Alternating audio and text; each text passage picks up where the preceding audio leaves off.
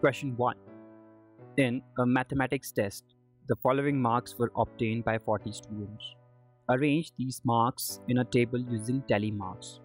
So, we have to arrange them in the table by the help of tally marks. Number A, find how many students obtained marks equal to or more than 7. Now B part, how many students obtained marks below 4. So this is your tabular representation. We will make three columns, namely marks, tally marks and number of students. Tally marks are the marks that we make or represent in order to show the data. So in first case, we will use it as follows. Number one, we will write number one. We'll put one because it has one count. And we will find, we will search for one again. Again, we get it and we'll mark. This, this is a pipe sign. Then we count it. This is two times. Similarly, we will write 2 now and we will search for it. So here we don't have, we see it in first row. So we mark one time then we see it second time, we mark second time and we see it third time, we mark three time and we see again. So we don't find it another time. So we conclude that, that these are three in number. For three, one time this is your one time we put one time mark and then we check we get second one this is your second one we put second pipe sign and then we move on we see third here and we put another pipeline and we don't see anyone so we conclude again that we have three of these. Now we check for four. So four one time put the mark. Second time put the mark. So whenever you see any of them and we put the mark third time and then we see again. We don't see. We see here it is four time. Now we will check again. We see here it is fifth time. So remember fifth is a slash or the dash which cuts all the previous marks. So we see it again. This is your sixth time and the last is seventh time. So we count it and write 7. Using the similar method, we can find for rest of the numbers from 4 to 9. So we have done this tally marks and the table. Now find how many students obtain marks equal to or more than 7. So we have to find the number of students who got 7 or more than 7. So you can clearly see that 7 here, these 7, 8 and 9 we have to count the students number of students who got these number of marks. So we can count 5 plus 4 is 9 9 plus 3 is 12 now b part how many students obtain marks below 4 so below 4 means we don't have to count 4 we will count for 3 2 and 1 so when you count it it is 3 to the 6 plus 2 is 8 so this is how you do your question number 1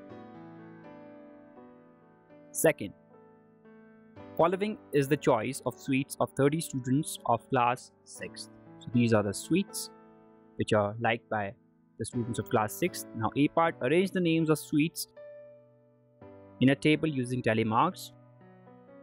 And the B part, which sweet is preferred by most of the students. So we will make a table. This is your table. We'll arrange it in columns that is sweets, tally marks and number of students. We'll write the sweet in the table. We will count it. So ladoo we see it one time.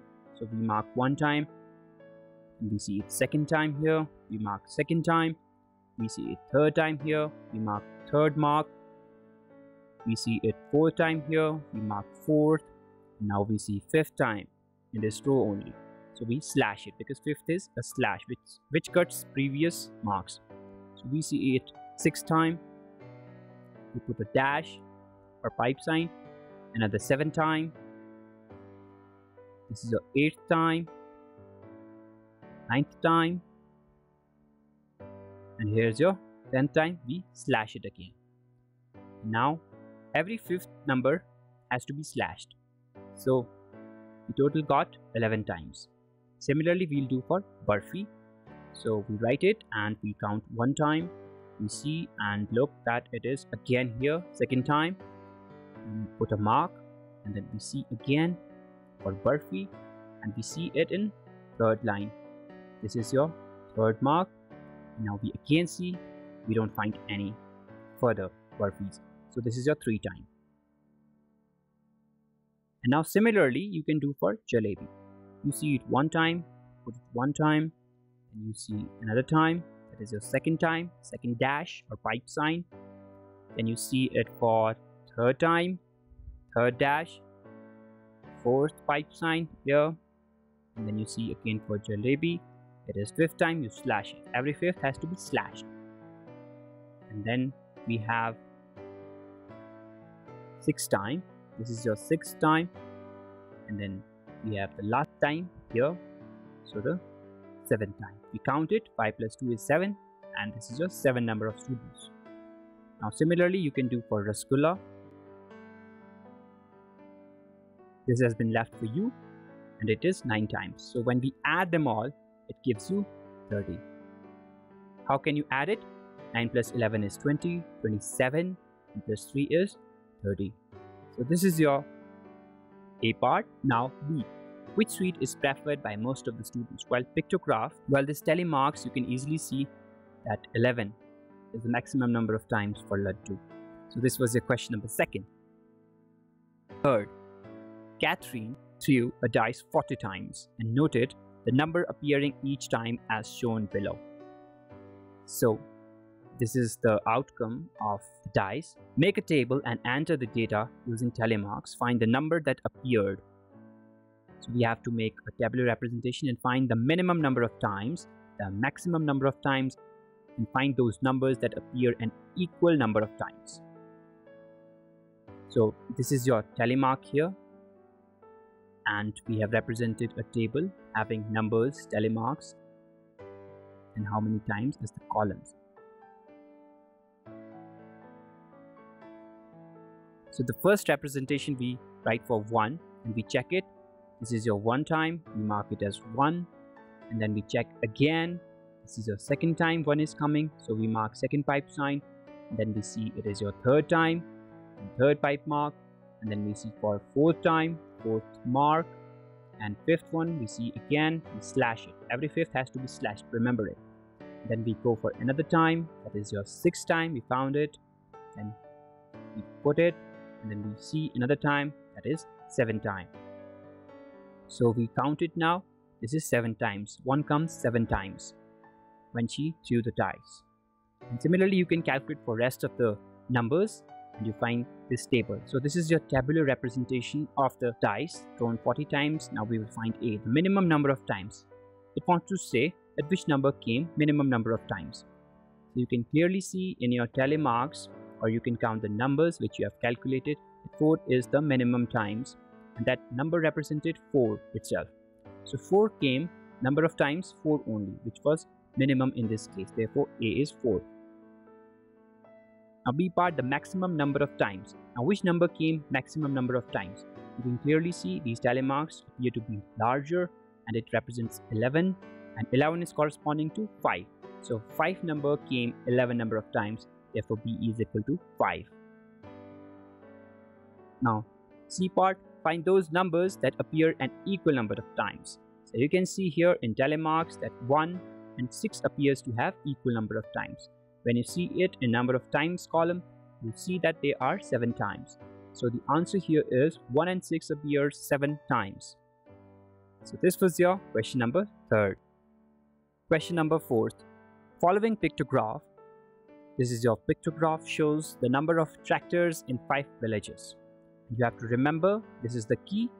One picture means one tractor. So now we will do observe the pictograph and answer the following questions. Now, so we will observe it. Number first, which village has the minimum number of tractors? Now, we clearly see that village D appears to have only 3 tractors. It is, it is clearly visible from this pictograph, therefore village D. Which village has the maximum number of tractors? Well, this is the biggest row here. So village C has 1, 2, 3, 4, 5, 6, 7, 8 tractors. How many more tractors village C has as compared to village B? So we will compare C and B. This is your C and this is your B we see 1 2 3 4, and 5. They have 5 as common, but extra C is having is 3. So 3 tractors more. Now, fourth part, what is the total number of tractors in all the 5 villages? We'll count it. So one method is we count individually that is 1, 2, 3, 4 and like this manner but we will prefer a shortcut because it is a pictograph we can make it an easy calculation. Look how we can do it. So we will count the columns first of all. You can see here 1 2 3 and 3 comes. 5 times because 5 villages are there. So it makes 50 now count row wise. 16 17 18 19 20 21 22 23 24 25 26 27 28 there are total 28 tractors. So this was your question number 4 fifth the number of girl students in each class of a co-educational middle school is depicted by the pictograph. So this is your pictograph again. Now here's the key that one picture makes four girls. So this has to be kept in mind while doing the questions. So observe this pictograph and answer the following questions. So we will observe it and we will find A part. Which class has the minimum number of girl students? So you can see here clearly visible that last class that is 8th class appears to have minimum number of girl students. So you can see here 1 and half is 2. So it is 4 plus 2 is 6. If you take it as half the other girl. So it is 8th class which has the minimum number of girl students. Now B part is the number of girls in class 6 less than the number of girls in class 5 we will compare class 6 and 5. So this is your class 6th. We'll mark it for our reference and 5th. So we have to compare it and it is saying that 6th has less number of girls than 5th. Well, it is not the case. 6th has more number of girls than 5th. Therefore, it is no. The answer for this question is no. Now C part, how many girls are there in class 7th. Now our reference point is class 7, we can see 3, but each picture makes 4 girls. So 4 3s are 12, 4, 8, 12. You can also do in this way. So this was your C part, that is 12. That was your question 5. Question 6. The sale of electric bulbs on different days of a week is shown below. So these are the sales of a bulb and you have to remember this key that each picture makes two bulbs. So, the question is what can we conclude from the set pictograph? So, we'll make various conclusions. Number first we can make is on Saturday and Wednesday there is the minimum sales of 8. So you can count it as same as well as minimum sales. You can calculate it as 4 into 2 gives you 8. This is your first conclusion. Second is On Monday, we get 6 into 2, 12 bulb sale. And on Tuesday, it is 12 already, plus 4 is 16. And on Wednesday, 4 to the 8, 8 bulbs. And here, these are 8 already, and plus 2 gives you 10. So this is the profit of pictographs.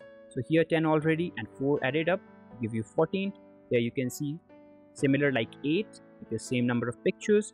And here you can see you can take 16 these are 16 and plus 2 is 18 this is the fast way of using pictographs. This is the one of the benefit of using pictographs. And the maximum sold out of all the week is 18 so this was the maximum number of bulbs sold on sunday. And when we add them all we get that in a week total sales were 86 so these are some of the conclusions we can draw from this pictograph. So this was your question 6th. 7th, in a village, six fruit merchants sold the following number of fruit baskets in a particular season. So these are the person, they sold the following fruit baskets.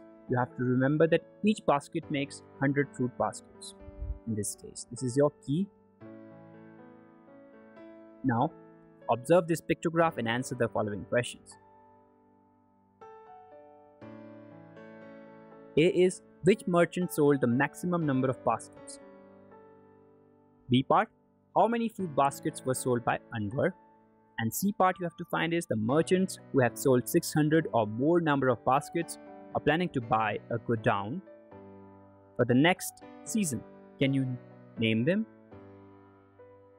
So we'll do A part. Which merchant sold the maximum number of baskets? Clearly visible from the pictograph, this has maximum number of fruit baskets. So it is Martin. B part. How many fruit baskets were sold by Anwar? We'll go for Anwar and we'll count it. 1, 2, 3, 4, 5, 6, 7. And 7 into 100 is 700. So 700 baskets sold by Anwar. C part The merchants who have sold 600 or more number of baskets are planning to buy a godown for the next season. Can you name them? Well, yes, we can name them. We'll find for 600. You can see 100, 200, 300, 400, 500, 600. It has asked for 600 or more. So we will take beyond this. So these three cases we will take. We will not take Lakhan Pal. Why? Because it is half. It would be something like 550 because 5 complete, 1 is half. So we will consider only these three names that is Anwar, Martin and Ranjit Singh have 600 or more baskets. So this was your last question, question number 7.